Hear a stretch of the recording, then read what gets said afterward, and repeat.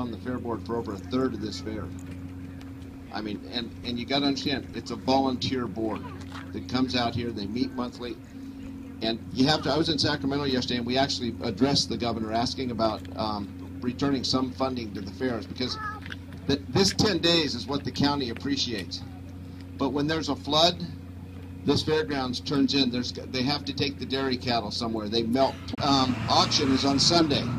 That's where these kids. Um, they work they work all year raising these animals and then they come around they sell these things and then they hopefully they're going to go to cal poly or to one of those schools to to take this a little bit farther and find out what the you know the bounty of the county is all about because we are an ag community. So with that i thank everybody for being here. Um,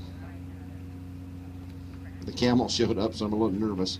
Um, that was pretty good. I thought maybe they had a union they were on a break or something but anyway we have a proclamation